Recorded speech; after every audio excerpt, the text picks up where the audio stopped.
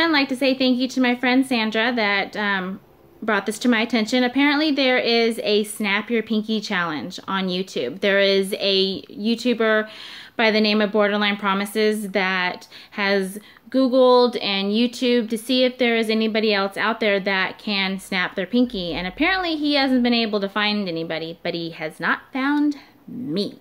So, this is my Snap Your Pinky challenge. Now, can you do it?